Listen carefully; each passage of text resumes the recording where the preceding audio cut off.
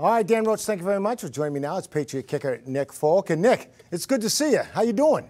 I'm great. How are you doing? Good, good. Obviously, you're doing better than me. But uh, let me ask you this right out of the gate. How close were you not to kicking in that game on Monday night because of back issues? Um, I'm just happy I kicked. Uh, you know, we, we had a little bit of a uh, an issue there, but we worked through it. Um, We're ready to go, and um, I think uh, everyone was.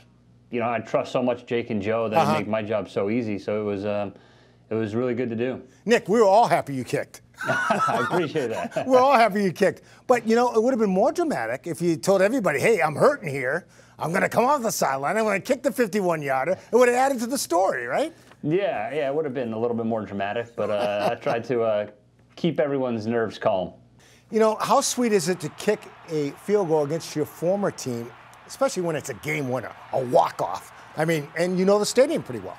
Yeah, it was fun, and it's a second time against a former team. I did it when I was with the Jets against the Cowboys. Uh-huh. Um, so a little bit of familiarity there, doing that kind of, you know, doing that. But um, it, it, it was fun. I know a couple guys still there. A lot of turnover since I was there in 16, but um, it, it was a good time. I'm just glad we got the win.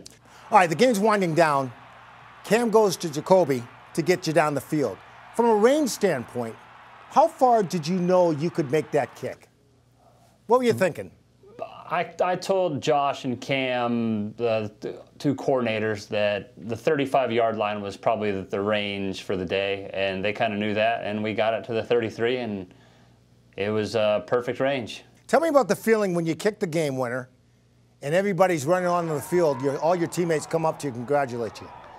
And that's one of the most uh, exciting things in sports, especially for a kicker. You're, you're, it's relied on just on you at that point. It's a lot of fun. Um, good to see the guys all out there. And uh, Jake was kind of holding me up so uh, I wouldn't get trampled too bad. Hey, AFC uh, Special Teams Player of the Week. You've won it before, and now you're here again. That's got to be pretty special for you. Yeah, it's good. Um, it's a lot of fun.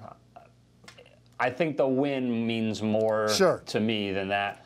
Uh, but it's good to get recognized a little bit every now and again. But we just got to keep putting wins together. You know, do you feel like this team is gaining a little bit of momentum with that win? I think so. Uh, I think we're heading in the right direction. We've had a bunch of good weeks of practice. We've got to put it together on Sundays and see where it takes us Yeah. come uh, the end of the season. I hear you, my friend. We'll keep kicking, and good luck to you. I appreciate it. Thank you so much. You got it.